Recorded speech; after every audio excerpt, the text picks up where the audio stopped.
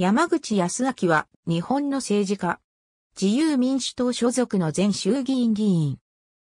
埼玉県筆記郡川島町生まれ。日本大学第二高等学校日本大学法学部政治経済学科卒。叔父が武州ガス会長で、その勧めにより、旭川ガス、坂戸ガス、武州ガスと各ガス会社に勤務している。1996年の総選挙で初当選。以降、小選挙区で4回連続当選。党総務、衆議院安全保障委員会理事、外務大臣政務官、党副幹事長等を歴任。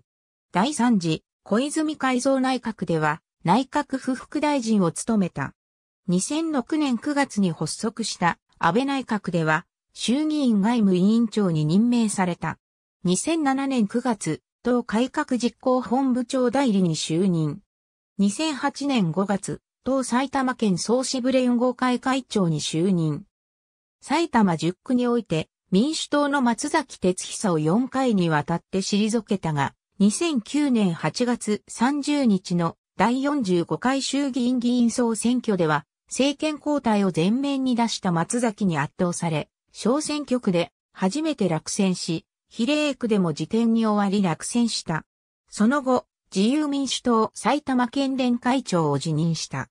2012年12月16日の第46回衆議院議員総選挙で小選挙区で再び当選。その後、統計理局長に就任。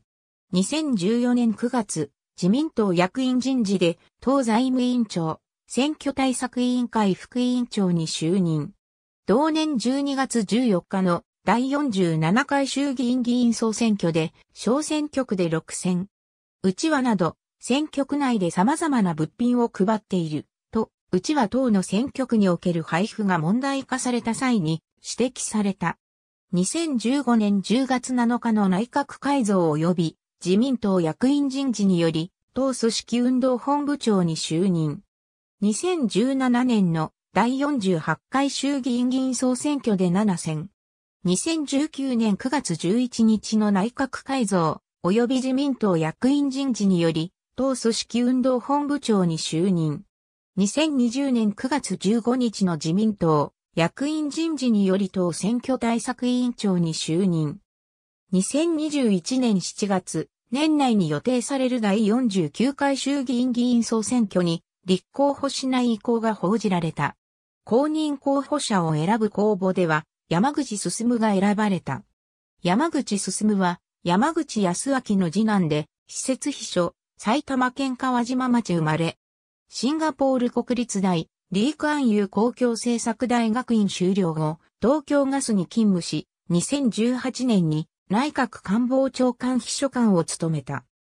進氏の選挙区支部長就任記者会見では、同席した自民党の柴山正彦自民党、埼玉県連会長から公募に名乗りを上げた24人の中から厳正な審査で進む氏が選ばれたと重ねて説明し、地元にかける熱意やプレゼンテーション能力などの観点から2世ということを超越して候補者としてふさわしいとして高い評価を受けている。